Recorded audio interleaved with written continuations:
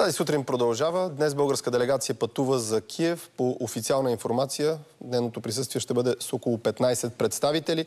Тя ще бъде предложена от министър-председателя Кирил Петков, а част от делегацията ще бъде и Атанас Атанасов, председател на ДСБ и заместник-председател на Народното събрание, част от коалицията. Той също ще пътува с българската делегация. Включваме го сега в нашия ефир, обаче започваме и с важната гореща тема от вчерашния ден спирането, на газовите доставки от страна на Русия. Добро утро, господин Атанасов. Как България ще компенсира тези спрени газови доставки?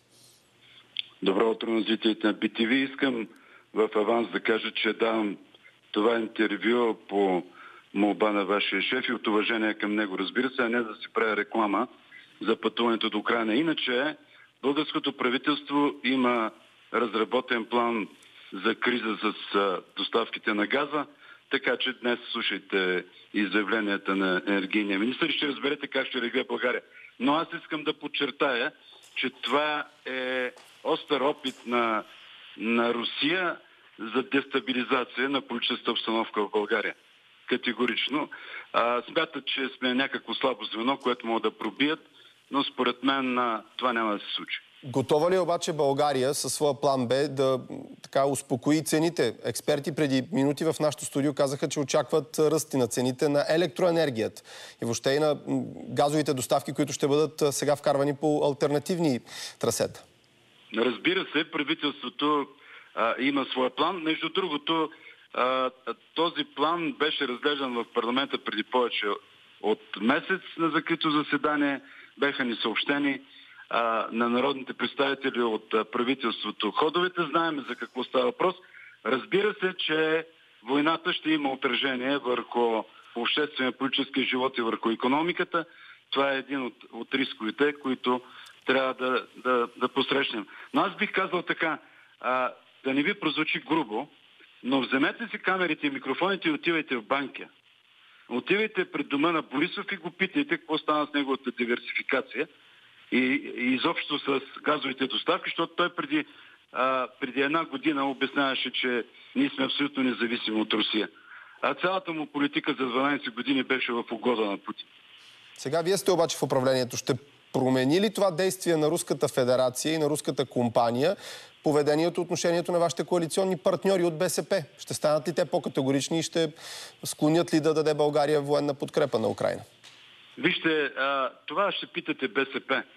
А, аз съм сигурен, че през следващата седмица а, българския парламент ще вземе решение, с което ще възложи мандат на българското правителство за оказване на военно-техническа помощ на Украина, за да бъдем солидарни с западния свят, с модерния свят, към който принадлежим, с жертвата в тази война.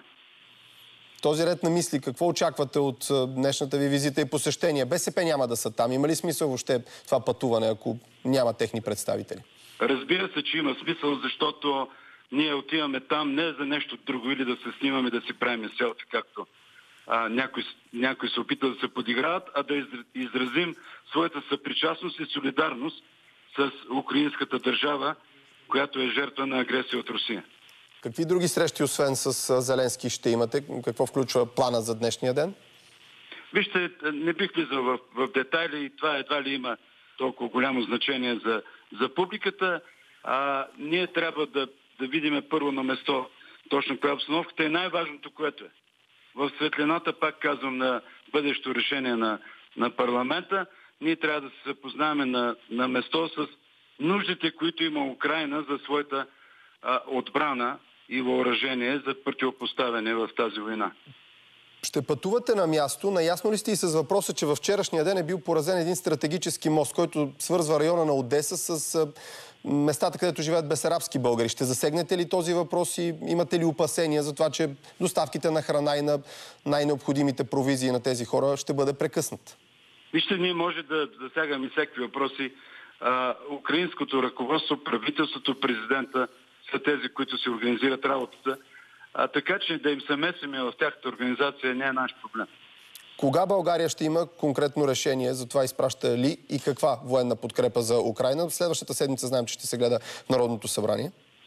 Обеден съм, че другата седмица ще има решение на, на българския парламент. А, аз не искам да спекулирам. Обеден съм, че до настоящия момент през известните вече търговски механизми България е доставила това, което може да достави. А ако БСП останат непреклонни, това проблем ли ще бъде за функционирането на коалицията? Обеден съм, че решение за доставка на военно-техническо оборудване за Украина ще има и правителство ще се запази. Не е ли много дълъг периода, в който България се колебаеше какво точно да изпрати и как да го направи? 63-ти ден от войната, 9 седмици минаха. Има ли сили, които се опитват да отложат това решение във времето? Ма вижте, тази сложна четворна коалиция а, не, не е толкова лесно да се вземат решенията. И все пак аз а, искам да върна малко лента назад. А, нека да не забравяме защо беше създадена тази четворна коалиция, трудна коалиция между а, в някакъв смисъл а, идеологически антиподи. Всичко това беше за да бъде отстранена от власт корумпираната Борисова държава. И сега в някакъв смисъл войната се а, в Украина се появи като специфичен политически чадър за Борисов. Разбира се, в тази насока е, а, би трябвало да открият дарителска сред, а, сметка в, в ГЕРБ за подпомагане на, на прокуратурата и да я бъдат благодарни. Вие одобрявате ли кампанията на Кирил Петков, която той набира средства чрез заплати? Вие ще дарите ли заплатата си? Вижте, много, много е наивен този ход. А, е, за съжаление и а, а, пропагандата машина на Борисовата държава веднага се възползва, за да се подиграва. А, нали, министър-председателя решил, че по този начин може да, нали, да кумулира някаква подкрепа за Украина. А, не го е направил, за да си прави реклама. Тоест, правилно ли ви разбирам, вие няма да дарите и няма да използвате този инструмент публично оповестен от Кирил Петков? Аз не обичам да коментирам а, а, такива въпроси.